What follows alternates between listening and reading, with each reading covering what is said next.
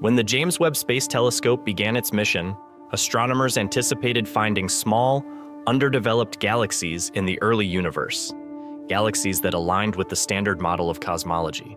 Instead, they discovered massive galaxies that seemed to defy expectations, sparking a crisis in cosmology. However, a recent study revealed the truth about this discovery and has opened new questions and kept the excitement in astronomy alive. In this video, we'll explore Webb's latest findings, how black holes shape our perception of galaxies, why the early universe was such an efficient star factory, and what this all means for our understanding of the cosmos. Soon after Webb started its mission, astronomers found galaxies in the early universe that were much brighter and larger than expected.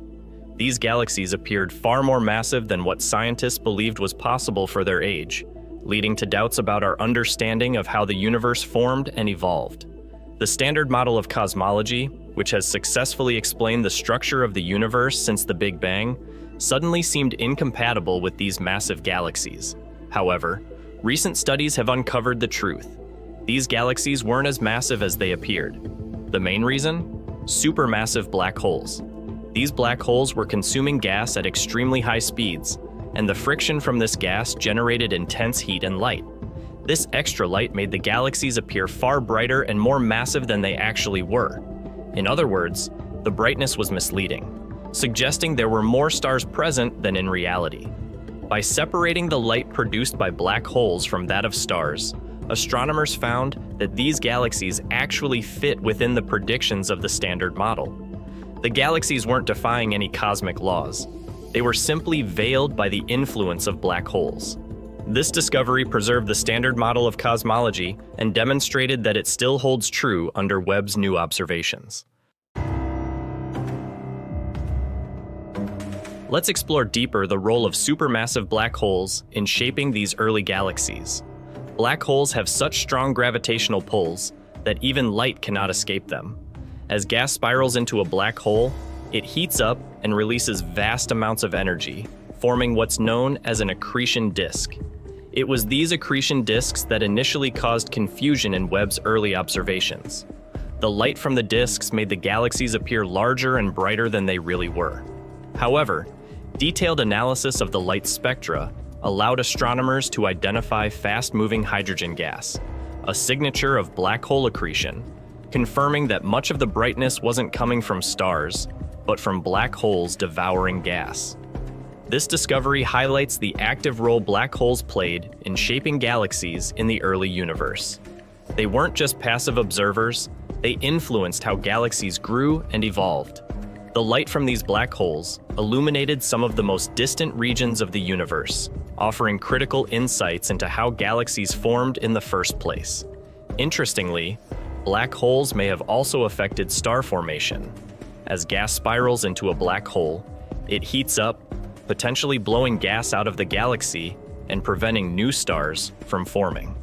However, in the dense environment of the early universe, this process might have been different the gas could have been trapped more easily, allowing rapid star formation despite the presence of black holes.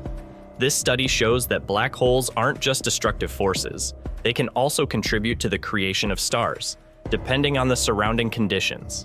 Without Webb's advanced instruments, we might still be puzzled by these early galaxies.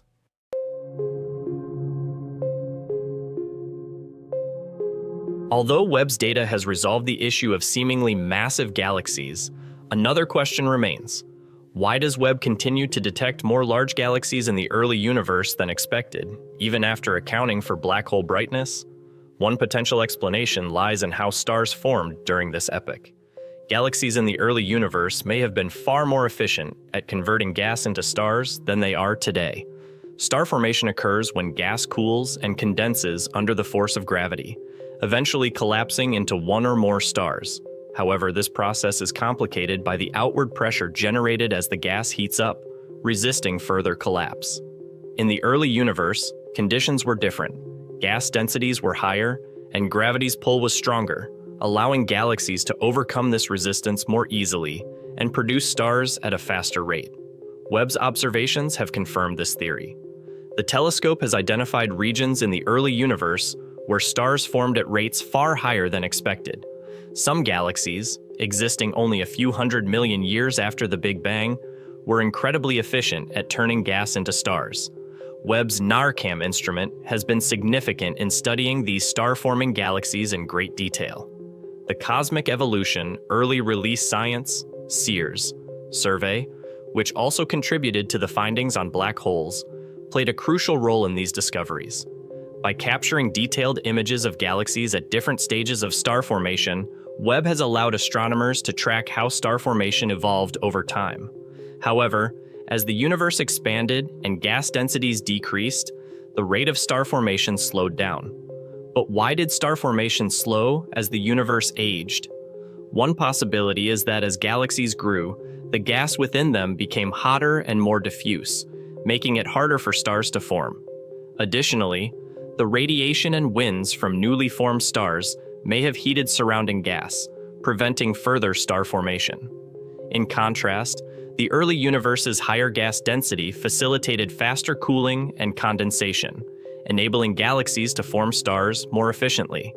Webb has also provided insights into how black holes might have influenced this process.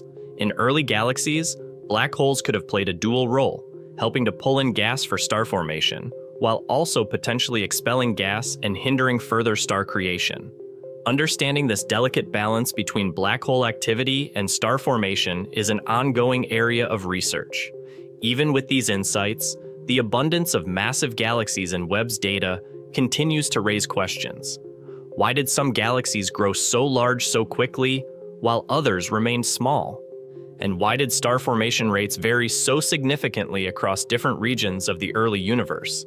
These questions remain at the forefront of astronomical research.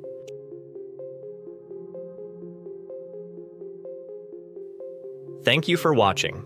We hope you enjoyed exploring these fascinating discoveries with us.